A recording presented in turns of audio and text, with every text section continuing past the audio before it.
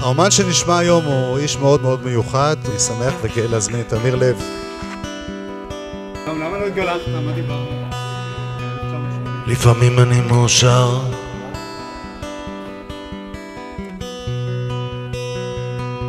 נשארנו שקטים תשמע, אני באמת מכיר אותך מתחילת הדרך, ואני רוצה לדבר uh, קצת על מי שהיית אז ומי שאתה היום. לפחות מתחילת הדרך אתה היית בעיקר גיטריסט. ההנאה הגדולה שלי הייתה ברגע שאני לא שר ושאני מנגן, וזה, באלבום הראשון עשיתי את זה רק בשביל שאני יכול להתעסק במוזיקה.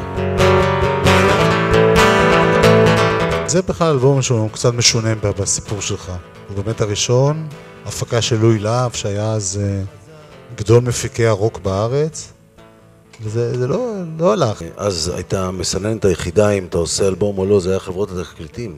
החתימו אותי בחברה אחת מהשתיים הכי גדולות. הכל היה אחלה. פתאום לואי לה, המפיק, אמר לי, אתה יודע שזה הולך להיות כישלון. אמרתי לו, למה? הוא אומר לי, כי אתה... אני מדבר איתך, אתה בכלל לא כותב כמו שאתה מדבר, תכתוב כמו שאתה מדבר. ואז עשינו את המיקסים וכבר הבנתי את זה. אז אני בכלל לא הרגשתי שנכשלתי, כי היה לי פתאום משהו אמיתי, כמו התגלות.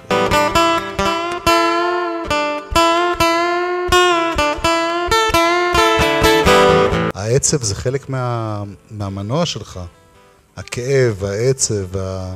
אתה יודע, אם זה היה רק עצב, הייתי מתרגל לזה. בגלל שאני לפעמים מאושר, זה יכול לעבוד איכשהו. ביני ובין עצמי, אני תמיד מחפש איזה תקווה. תמיד כשאני כותב שיר, בסוף אני אומר לעצמי, רגע, זה all the way down, ואם אני מרגיש שזה ככה, אני משנה אותו.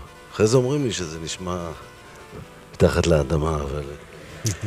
אני מוצא בזה תקווה. לא, זה גם הקול שלך. בתור שדרן, תמיד אחרי שאני שם שיר שלך, אז אני מדבר ככה בשביל לא לצאת פראייר. איך שלא תסתכלי על זה, אנחנו מתרחקים. אתה תמיד מזדהה עם, עם הצד החלש בכל סיפור. זה קו שמאפיין אותך. מאיפה אתה בא? כאילו מבחינת משפחה, ילדות, אה, חינוך. זה מצחיק, לפני כמה ימים בטלפון אימא שלי אמרה שהיא לא מבינה איך יצאתי ככה, שהם לא חינכו אותי ככה. גדלתי בשכונה בחולון, שהילדים בחוץ. רוב האימהות, כמעט כולם עבדו, האבות ברור. ואני זוכר את זה בבירור, שבחיים לאף אחד לא היה חלום. אני אמות שם במרפסת באחד החגים.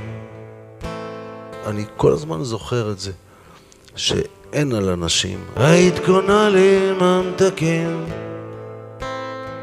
שאפסיק לצעוק. הילדים שלך, אתה נותן להם ממתקים? אתה אבא טוב? אני מה זה משתדל להיות אבא טוב. אני, אני יד ביד, זה הדבר שהכי חשוב לי. החיים. כחול וירוק, כחול וירוק.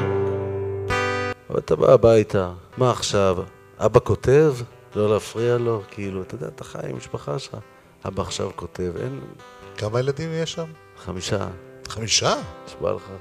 יפה, הספקת יפה. את תאהבי אותי תמיד, גם אם תהיה לי כרס. אומרים לי, למה אתה לא נותן בראש שאתה עושה רוקנרול? התאכזבת מהאישה שלי, היא לא לבשה שמלה. תביא את הגיטרות החשמליות האלה, בואנה עם ה distortion וזה. ואני רוצה אותה,